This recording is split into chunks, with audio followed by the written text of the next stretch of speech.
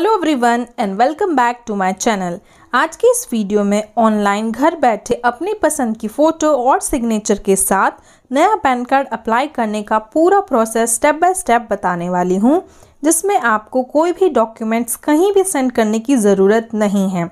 और आपका PAN card 10 से 15 दिनों के अंदर आपके एड्रेस पे बाय पोस्ट सेंड कर दिया जाएगा। सबसे पहले आपको गूगल क्रोम पर जाकर एन पैन कार्ड लिखकर सर्च करना होगा। अब यहाँ आप पहले लिंक पर क्लिक करेंगे। आपके सामने एक न्यू पेज ओपन हो जाएगा। अब यहाँ पर सबसे पहले एप्लीकेशन टाइप में आप new PAN Indian citizen form 49 A select करेंगे। कैटेगरी आप इंडिविजुअल सेलेक्ट करेंगे। नेक्स्ट टाइटल में श्री, श्रीमती कुमारी, जिसके लिए भी आप पैन कार्ड अप्लाई कर रहे हैं, उनकी कैटेगरी सिलेक्ट करेंगे। नेक्स्ट नाम एंटर करना है। यहाँ ध्यान देने की बात ये है कि सबसे पहले आपको लास्ट नेम एंटर करना है, फिर फ़र्स्ट नेम एंटर करना है और फिर मिडिल नेम एंटर करना है।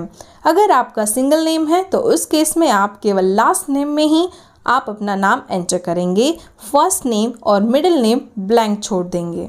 नेक्स्ट यहाँ पर डेट ऑफ़ बर्थ डालेंगे, जो कि आप इस कैलेंडर से सिलेक्ट कर सकते हैं। नेक्स्ट यहाँ पर ईमेल आईडी एंटर करेंगे नेक्स्ट यहाँ पर मोबाइल नंबर एंटर करेंगे। अब नीचे यहाँ चेक बॉक्स पर टिक करेंगे। नेक्स्ट यहाँ आपको कैप्चा कोड दिया है। जैसा लिखा है, वैसा ही आप यहाँ टाइप कर देंगे और फिर सबमिट के ऑप्शन पे क्लिक कर देंगे। अब यहाँ पर एक टोकन नंबर जनरेट हो जाएगा। अब नीचे यहाँ आप continue with PAN application form पर क्लिक करेंगे। एक न्यू पेज ओपन हो जाएगा। अब यहाँ आपके सामने तीन ऑप्शंस दिखाई देंगे।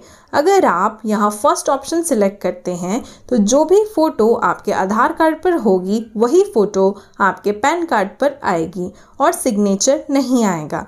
और अगर आप दूसरा ऑप्शन सिलेक्ट करते हैं तो आप अपने पसंद का फ़ोटो और सिग्नेचर पैन कार्ड पर अपलोड कर सकते हैं। और अगर आप तीसरा ऑप्शन सिलेक्ट करते हैं तो आपको physical documents by post send करने होंगे। तो यहाँ आप दूसरे ऑप्शन को सिलेक्ट करेंगे क्योंकि आपको अपने पसंद का फ़ोटो और सिग्नेचर अपलोड करना है। पेज को नीचे स्क्रॉल डाउन करेंगे। अब नीचे यहाँ पूछ रहा है whether physical PAN card is required तो यहाँ आप यस को सिलेक्ट करेंगे। नेक्स्ट यहाँ आप अपने आधार कार्ड के लास्ट के फोर डिजिट एंटर करेंगे और नीचे यहाँ आप अपना नाम एंटर करेंगे। जो भी आपका नाम आधार कार्ड पर है, वही नाम आप यहाँ एंटर करेंगे। अब पेज को नीचे स्क्रॉल डाउन करेंगे। यहाँ आपकी सारी इन्फॉर्मेशन भरी हुई है। यहाँ पर आप अपना जेंडर सिलेक्ट करेंगे। अब पेज को नीचे स्क्रॉल डाउन करेंगे। अब यहाँ आपको अपने फादर का फुल नेम एंटर करना है।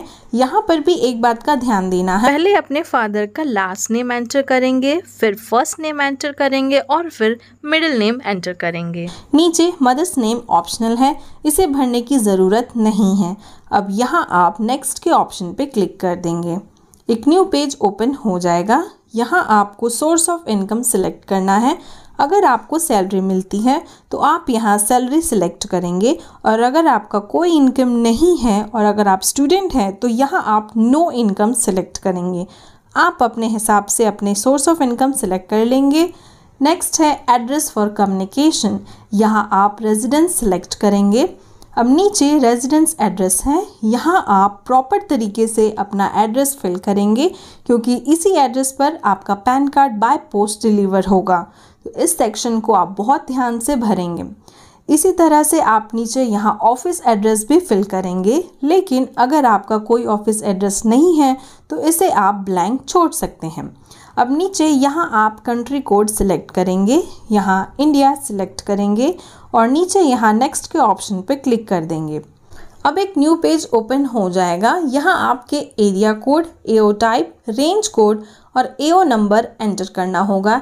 इसके लिए सिंपली यहाँ आपको सिलेक्ट करना है इंडियन सिटीज़न नीचे यहाँ आप अपना स्टेट सिलेक्ट करेंगे और यहाँ आप अपना सिटी सिलेक्ट करेंगे। इसी तरह से यहाँ पर डिटेल्स आ जाएँगी। यहाँ आपके एरिया का वार्ड नंबर शो होगा। यहाँ से आप सिलेक्ट कर लेंगे। सिलेक्ट करने के बाद यहाँ आप ऊपर देखेंगे ऑटोमेटिकली आपका area code AO type range code और एओ नंबर फिल हो जाएगा। अब नीचे यहाँ नेक्स्ट के ऑप्शन पर क्लिक कर देंगे। फाइनली अब एप्लीकेशन के लास्ट पेज पर आ जाएँगे। यहाँ आपको आईडी प्रूफ एड्रेस प्रूफ और डेट ऑफ़ बर्थ प्रूफ देना होगा। तो आप तीनों ही ऑप्शंस में आधार कार्ड सिलेक्ट कर लेंगे। अब नीचे डिक्लेरेशन देना है। यहाँ आपका नाम आ जाएगा और यहाँ आप हिमसेल्फ हर सेल्फ सिलेक्ट कर लेंगे। नीचे प्लेस एंटर करेंगे। अब यहाँ आपको अपनी फ़ोटो और सिग्नेचर अपलोड करनी है। जिसमें कि फ़ोटो और सिग्नेचर का साइज़ 50 के बी तक ही होना चाहिए। साथ में जो डायमेंशंस दी गई हैं, उसी डायमेंशंस में ही आपकी फ़ोटोग्राफ और सिग्नेचर होनी चाहिए। अब यहाँ फ़ोटो सिलेक्ट करेंगे और अपलोड के ऑप्शन पर क्लिक कर देंगे। फ़ोटो अपलोड हो चुकी है। इसी तरह से आप सिग्नेचर सिलेक्ट करेंगे और अपलोड कर देंगे। नीचे आपको डॉक्यूमेंट अपलोड करना है। यहाँ हम Aadhaar card as document upload करेंगे। यहाँ पर ध्यान देने वाली बात यह है कि आप जो भी डॉक्यूमेंट अपलोड करेंगे, वो पीडीएफ फॉर्मेट में होनी चाहिए और साइज़ 300 हंड्रेड के बी से ज़्यादा नहीं होनी चाहिए। यहाँ आप डॉक्यूमेंट सेलेक्ट करेंगे और अपलोड पर क्लिक कर देंगे। फ़ोटो, सिग्नेचर और डॉक्यूमेंट्स अपलोड होने के बाद नीचे सबमिट के ऑप्शन पर क्लिक कर देंगे। एक न्यू पेज ओपन हो जाएगा। यहाँ आप अपने आधार कार्ड का फ़र्स्ट एट डिजिट एंटर करेंगे। एंटर करने के बाद पेज को नीचे नीचे स्क्रॉल डाउन करते जाएँगे। आपकी कंप्लीट एप्लीकेशन आ जाएगी। इसे चेक करते जाइए और नीचे प्रोसीड पर क्लिक कर देंगे। अब आपको यहाँ एक सौ छः रुपये का पेमेंट करना है, जिसके लिए हम यहाँ थर्ड ऑप्शन को सिलेक्ट करेंगे। पेज को स्क्रॉल डाउन करेंगे, नीचे टर्म्स को एक्सेप्ट करेंगे और प्रोसीड टू पेमेंट के ऑप्शन पर क्लिक कर देंगे। अब यहाँ आप पे कंफर्म के ऑप्शन पर क्लिक कर देंगे। अब यहाँ आप अपने credit card debit card internet banking wallet cash card QR और यूपीआई के थ्रू एक सौ रुपये का पेमेंट कर सकते हैं। यहाँ हम डेबिट कार्ड के थ्रू पेमेंट करेंगे सो अपने कार्ड डिटेल्स फिल करने के बाद नीचे मेक पेमेंट के ऑप्शन पर क्लिक कर देंगे। अब बैंक के थ्रू आपके रजिस्टर्ड मोबाइल नंबर पर एक ओटीपी आएगा। ओ टी यहाँ एंटर करेंगे और उसके बाद मेक पेमेंट के ऑप्शन पर क्लिक कर देंगे। यहाँ आप देख सकते हैं ट्रांजैक्शन सक्सेसफुल हो चुका है। अब यहाँ कंटिन्यू के ऑप्शन पर क्लिक कर देंगे। नेक्स्ट यहाँ टर्म्स को एक्सेप्ट करेंगे और नीचे यहाँ दो ऑप्शन है। यहाँ पर आप ऑथेंटिकेट के ऑप्शन पर क्लिक करेंगे। नेक्स्ट यहाँ आप ओ टी पी ऑथेंटिफिकेशन पर क्लिक करेंगे। अब आपके रजिस्टर्ड मोबाइल नंबर पर एक ओटीपी सेंड किया जाएगा। उस ओटीपी को आप यहाँ एंटर करेंगे और फिर सबमिट के ऑप्शन पे क्लिक कर देंगे। नेक्स्ट यहाँ आप कंटिन्यू विद ई साइन के ऑप्शन पे क्लिक करेंगे।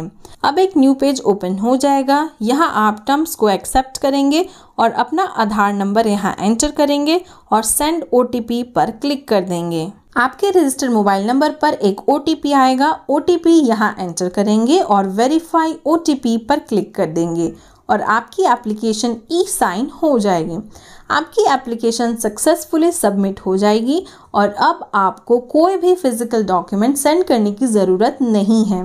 नीचे आपकी एप्लीकेशन फॉर्म है। एप्लीकेशन फॉर्म को ओपन करने के लिए पासवर्ड एंटर करना होगा। पासवर्ड आपका डेट ऑफ़ बर्थ है। डेट ऑफ़ बर्थ एंटर करने के बाद ओके पर क्लिक कर देंगे। आपकी एप्लीकेशन फॉर्म ओपन हो जाएगी। आप इसे रेफरेंस के लिए डाउनलोड कर सकते हैं। इसके बाद 10 से 15 दिन के अंदर डिजिटल पैन कार्ड आपके ईमेल आईडी पर और फ़िज़िकल पैन कार्ड आपके एड्रेस पर बाय पोस्ट सेंड कर दिया जाएगा। So I hope PAN card apply करने का पूरा प्रोसेस आपको क्लियर हो गया है। और अगर आपको ये वीडियो हेल्पफुल लगी हो तो प्लीज़ चैनल को सब्सक्राइब कीजिए वीडियो को लाइक कीजिए और अपने फ्रेंड्स को शेयर कीजिए। And thank you for watching this video